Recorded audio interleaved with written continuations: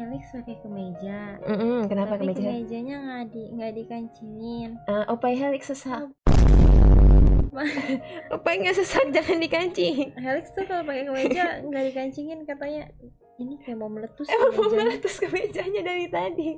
Kemejanya kayak mau meledak Helix kemejanya udah kemejanya udah nggak cukup di opai. Jangan dikancing. Helix Helix opainya gede banget sih bisa jangan dikancing